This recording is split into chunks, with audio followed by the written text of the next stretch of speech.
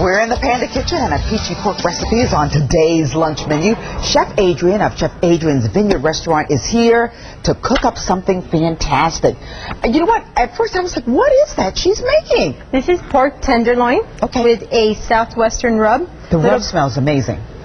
Yeah, pretty much. But it's uh, it's chef's dust with a little bit of brown sugar and a little bit of cumin. Ah. That's really nice. That whole maximum flavor, get the impact going there.